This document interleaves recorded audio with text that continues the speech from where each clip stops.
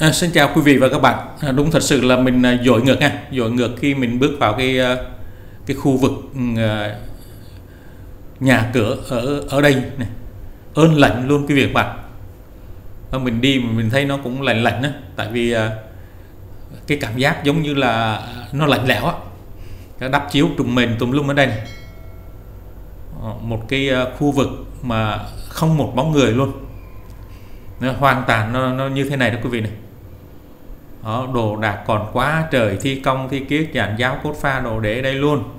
Không hiểu như thế nào người ta rút chạy nhanh dữ vậy quý vị các bạn. Nên là rút chạy luôn đấy chứ. Không hiểu lý do. Đó, để bây giờ các cái công cụ dụng cụ thi công để phơi đầy luôn. Và đây là những cái dãy nhà chỗ thì làm rồi chỗ tô trát tổ thì chưa. Đó trước mặt quý vị và các bạn đây là một vài cái hình ảnh tổng thể của cái khu vực này đây.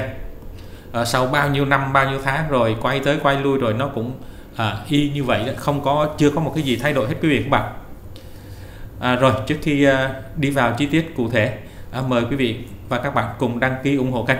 Cảm ơn quý vị và các bạn rất nhiều. Đó, hình ảnh của dự án đó quý vị. À, những dãy shop house này. Đây đây là những cái dãy shop house đây. À, trục đường chính này. À, cái này nó nằm ở thành phố Biên Hòa đó quý vị các bạn. À, cách thành phố Biên Hòa chừng khoảng 15 km còn cách ngã ba Vũng Tàu thì chừng khoảng từ 5 à, tới 6 km cách sân bay Long Thành mới chừng khoảng 15 km cách quốc lộ 51 từ quốc lộ 51 vào đây nè quý vị này thì nó chừng khoảng à, chừng khoảng hơn một cây số. Chẳng phải hai cây á, chẳng phải hai cây. Đó, là hai bên hai dãy rất là nhiều đó quý vị các bạn. Người ta làm lên rồi. Ờ, nghĩa là một phần thì ờ, tô trát này, một phần đang xây, một phần thì đang đổ bê tông. Đường thì ờ, đường thì rất là rộng ha, đường đá lớn chởm khá rộng. Và cái dự án này hình thành cũng khá lâu rồi quý vị các bạn và à, không hiểu sao mà chủ đầu tư người ta không hoàn thiện.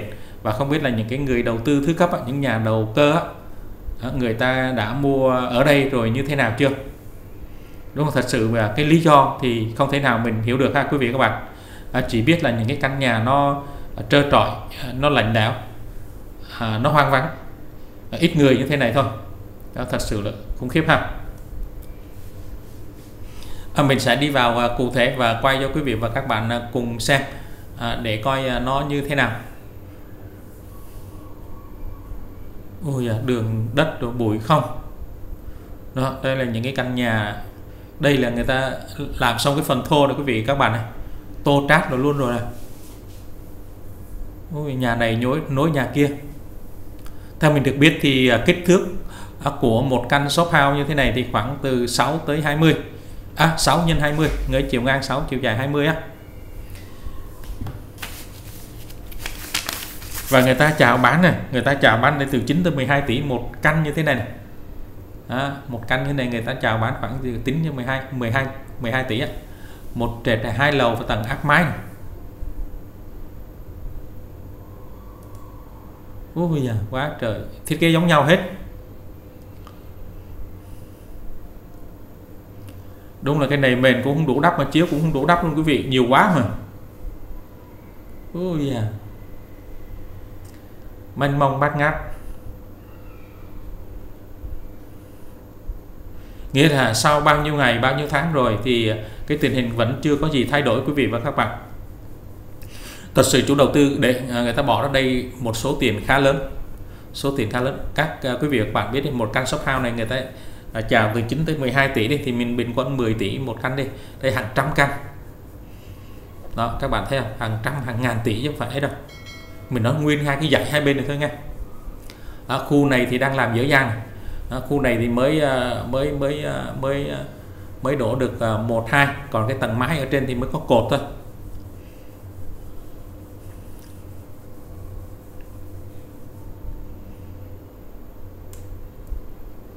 Đó ghê không quý vị? Ở phía dưới đây thì người ta có xây rồi xây bao rồi chưa có tô. Đó nghĩa là nó từng cái giai đoạn à, từng cái khu à, người ta làm à, phần này phần kia. Còn lại thì có như là đồng loạt người ta nghĩ luôn.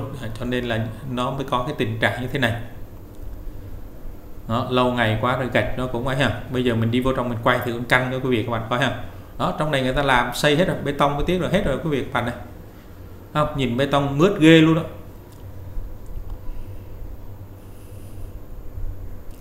Ta xây tường riêng hết đó quý vị. Đó hai nhà hai bên là cái tường đôi này. Nghĩa là một bên là một một một cái nhà tường 10 đó.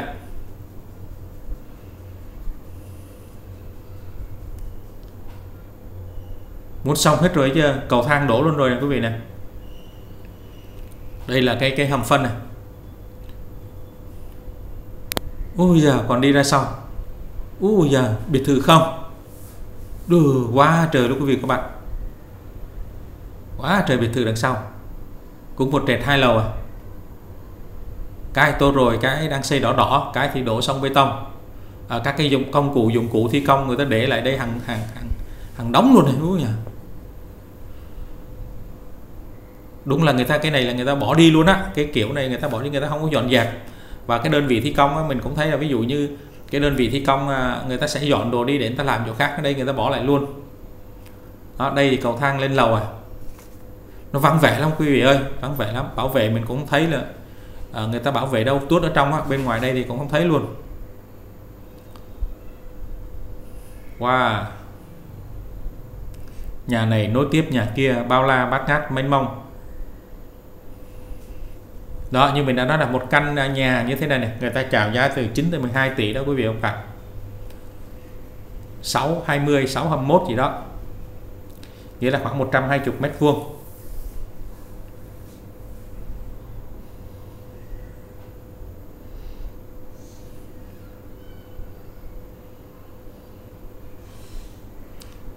Wow trời ha. À, bên đây nữa này. Ui da đúng là nhìn nó nó nó nó, nó hoang tàn quá quý vị các bạn. Đó thời buổi này quý vị thấy không? Hàng đóng tiền luôn đấy chứ hàng đóng tiền. Vừa tiền đất vừa quy hoạch vừa xây dựng như thế này. Đó quý vị thấy không? Một cái căn biệt thự như thế này biệt thự đơn lập sân lập á đơn lập và song lập. Đó song lập là hai cái kẹp với nhau. Còn đơn lập là nó đứng ờ, một mình nó. Rồi dinh thự đó, thì người ta chào bán cái ờ, cái cái song lập á nghĩa là hai căn hai căn trùng lại với nhau á thì từ 14 cho tới 15 tỷ một căn. Còn mà đơn lập á nó rộng hơn chút xíu thì khoảng 22 tỷ. Đó đó là những cái dãy biệt thự đằng sau đó để người ta ở đó, đó một cái khu vực hai mươi mấy tỷ. À, ở ngay cái thành phố Biên Hòa.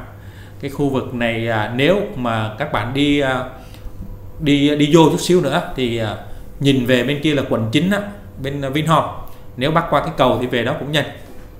Đó đứng bên này nhìn qua bên kia này quý vị các bạn này. đó thấy không? Bên này một dãy bên kia một dãy. Nó thật sự mình ờ, không hiểu nổi chủ đầu tư người ta làm thế này và các cái nhà đầu tư á, thì không biết là người ta đã trả tiền đã bạc như thế nào mà bây giờ nó ra cái hình hài như thế này ha. Đó, bên này cũng một dãy biệt thự này. Hoành tráng không? Uh, đây là biệt thự uh, song lập đấy quý vị. Mình nghĩ là bên này một căn bên kia một căn ạ. Đó thì à, người ta trả giá 14 15 tỷ một căn như vậy. Phần thô làm rồi còn đây là các cái dụng cụ thi công của nhà thầu này. Dàn giáo cốt pha này. Người ta không kịp chở đi luôn người không hiểu lý do tại sao.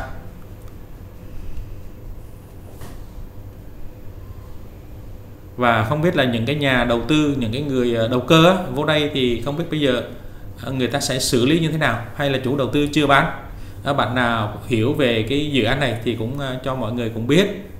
Và hy vọng rằng trong cái thời gian sắp tới thị trường bất động sản nó ấm lại thì chủ đầu tư sẽ khởi động lại cái dự án này. Mình thấy nó bao la quá và rất là đẹp. Ôi, đây những cái này người ta làm chưa xong ta rút luôn này các bạn cốt thép của cầu thang làm rồi này đó, có thép có thang làm rồi chuẩn bị đổ bê tông này đổ lên các lầu đấy bây giờ reset hết rồi. Ui giờ đúng. Bó tay ha quý vị? Bó tay. Đó một cái quỹ đất một cái quỹ nhà. À, ghê gớm luôn ghê gớm luôn. Mà không đưa vào khai thác sử dụng cũng là một à, thật sự là mình thấy là, là rất là uổng và và hoang hoang hoang phí. Rất uổng và hoang phí hàng ngàn tỷ quý vị các bạn hàng ngàn tỷ.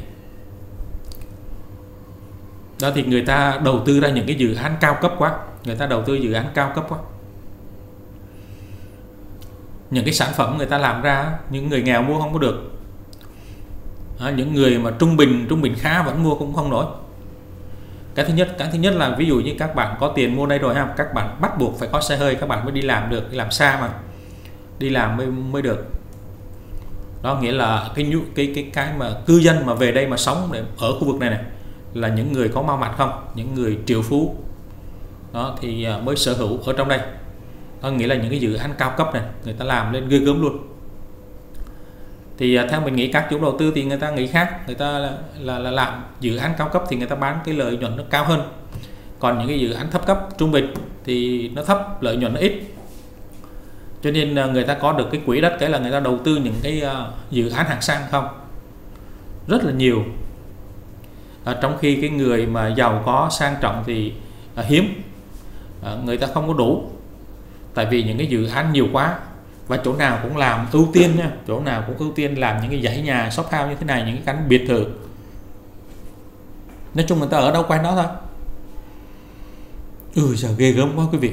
Đường rộng mênh mông đường này mấy chục thước rồi. Đó, nhìn qua bên kia khối.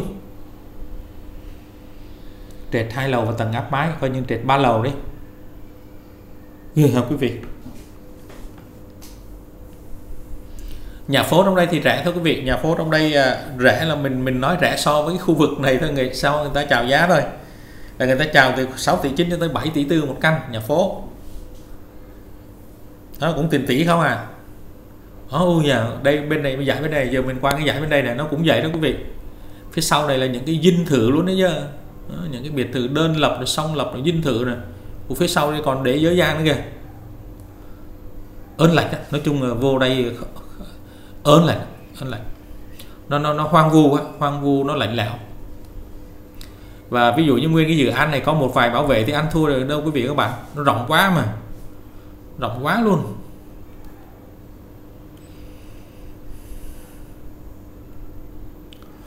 Đó, trong đây người ta làm những cái dinh thự nghe. Ở khu vực này thì không có chắc là mình nghĩ không có dinh thự. À, dinh thự dưới đây thì người ta làm tới 1.350 mét vuông à. và người ta chào bán với 82 tỷ một à, một căn dinh thự như vậy. Thì chắc cái sản phẩm nó ít thôi có một vài cái căn gì thôi. Những người đó thì người ta không có nghĩ tới tiền nữa rồi. Người ta kiếm nhà cái kiếm chỗ ở thôi. Tại người ta quá giàu rồi người ta mới mua. Đó còn đây là những cái biệt thự song lập đơn lập này cũng à, vài chục tỷ một căn mười mấy hai chục tỷ một căn này. Ghê quá. Đúng là mình nói đắp mền đắp chiếu giờ cũng không đủ mà đắp nó nhiều quá mà tự nó đắp lấy thôi. Quá trời quý vị ha. Nó hai bên hai dãy phía sau á phía sau những cái dãy shop house là những cái khu biệt thự. Đó thì à, nãy mình đang nói dở dang mong rằng cái thị trường bất động sản âm lên để chủ đầu tư người ta uh, khởi động lại những cái dự án này và đưa vào khai thác. Đó, đó là điều mong muốn. Đây là cũng tài sản mà tài sản của doanh nghiệp của tư nhân cũng là tài sản của xã hội. Đó quý vị các bạn biết không? Sắt thép này xi măng này gạch này đó là những cái tài nguyên của quốc gia ha sắt thép xi măng gạch cát đá. Đó đưa vào những cái dự án như thế này mà không vào khai thác sử dụng thì rất là phí và rất là uổng.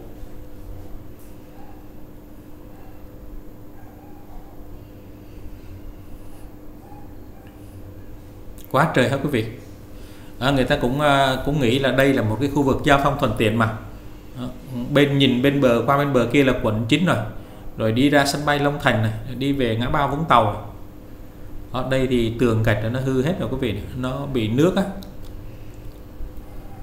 Nước là nó ố nó ấy nó xuống cấp nhanh lắm. Nếu mà nước nó động lại mà nó nó nó nó, nó bị à, thấm rồi này kia đó nó mau xuống cấp lắm. À, tất cả cái công trình xây dựng là hết mưa là phải hết nước mới được. Cái thứ hai là các cái nhà tắm các nhà vệ sinh là phải tuyệt đối khô ráo. Đó, khi mà dội nước xong là nước phải rút hết không cho thấm. Chứ mà cái gạch cái tường gạch không? Cái ờ, bê tông cốt thép mà có nước vô là nó phá ghê lắm. Nó âm ỉ nó phá ghê lắm. Đó đó thì nãy giờ là mình đã đi hết một cái vòng đó, từ bên ngoài cho tới bên trong để uh, quay cho quý vị và các bạn cùng cùng xem. Đó, thật sự mình à, bước vào đây mình cảm thấy muốn bước ra. Tại vì nó nhiều nó nhiều quá mà mình cũng không thể ngờ được. Thật sự mình không thể ngờ được ở một cái khu vực quy hoạch như thế này. Nhưng mà không một bóng người luôn không một bóng người.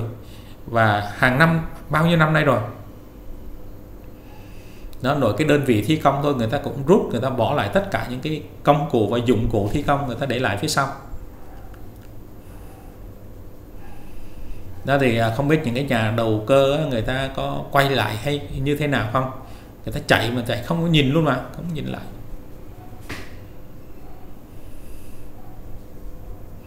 Thật sự là mình cảm thấy tiếc à, tiếc. Còn mình nói rồi ở đây tiếc ở đây là tiếc là cái tài sản à, để ở đây. Thì bất cứ là của ai mình nói rồi bất cứ là của ai là cũng à, à của của của tư nhân à, thì của người này của người kia thì mình nói chung là cũng tài sản xã hội. Hôm nay là của người này ngày mai của người khác. Đó, hôm nay người ta làm ăn được thì người ta sẽ thu gom nhà cửa đất đai. À, ngày mai người ta mới thì người ta bán ra. Và đó là cái tài sản xã hội. Mình sót sót như vậy chứ không phải là sót riêng cho nhà giàu không quý vị các bạn? À, nhiều bạn cũng nói mình là tối ngày cứ đi lo sót cho nhà giàu không phải. Mình nói là sót cái của cải bỏ ra. À, sót cho những cái tài sản bỏ ra mà không đưa vào khai thác sử dụng. Thì mình nói là bất cứ của ai thì đó cũng là một điều xót xa. Đó, nhiều người cũng đau đầu lắm chứ quý vị các bạn. Nhiều người đau đầu lắm. Đó, người ta làm lụng lên rồi bây giờ à, đầu tư ra như thế này à, từ năm này qua tháng khác. Người ta cũng cũng cũng cũng đứt ruột đấy chứ không phải à, chuyện bừa đùa đó quý vị. Đó bụi qua trời xe chạy qua bụi qua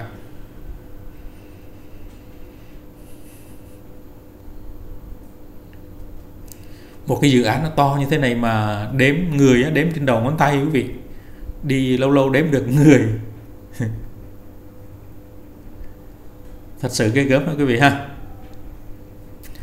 Đó thì à, mấy hôm nay mình đi à, mình định đi quay phố quay xá quay à, về Tết rồi này kia cho quý vị và các bạn cùng xem. Nhưng mà lâu lâu cũng có một vài cái dự án. À, mình đi trên đường rồi mình à ghé vào à, để mình quay à, để phục vụ quý vị và các bạn nghĩa là có những cái quỹ nhà quỹ đất nó còn ghê gớm lắm nó còn vô số kể. Từ các cái trung tâm thành phố ở Sài Gòn ở các tỉnh lân cận. Bây giờ đây là Đồng Nai.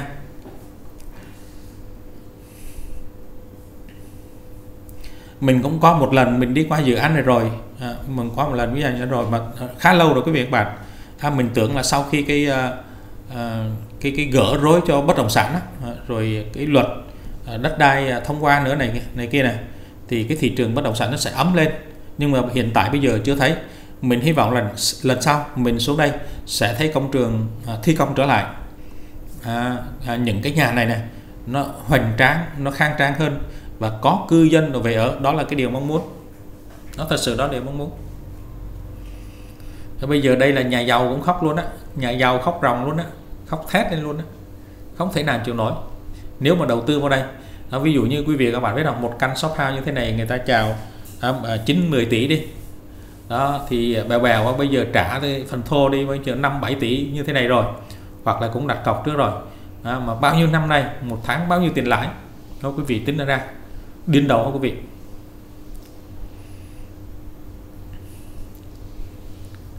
Thì ngày xưa ai cũng đi mua nhà mua đất mà buôn bán mà bất động sản mà bây giờ trong những năm, hai, ba năm ba năm đổ lại đây là té tu luôn, té tu thở không kịp luôn. Nhiều nhà thất điên bát đảo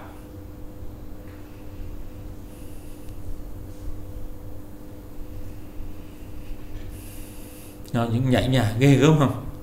Quý vị thấy đường xá nó rộng thanh thang.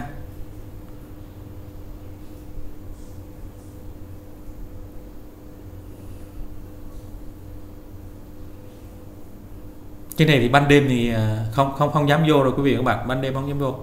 Chỉ có ban ngày thì mình đó là lâu lâu đếm được một người á. Ban đêm thì không không không dám vô đâu. Thật sự là như vậy.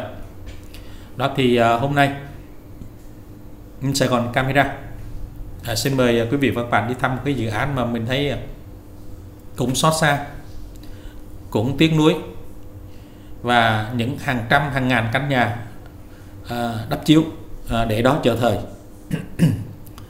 đó là một trong những cái mà mình à, à, muốn quay để phục vụ quý vị và các bạn. À, nhiều lúc cũng xem được những video này thì quý vị và các bạn à, có thể sau này à, đi đầu tư à, hoặc là quá trình mua bán đất đai nhà cửa thì à, cũng lưu ý và tính toán cụ thể.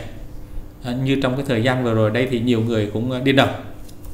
Rồi cảm ơn quý vị và các bạn đã theo dõi à, xin chúc quý vị và các bạn luôn tràn đầy năng lượng khỏe và thành công. Hẹn gặp lại quý vị và các bạn trong những cái video tiếp theo. Xin thân ái chào tạm biệt.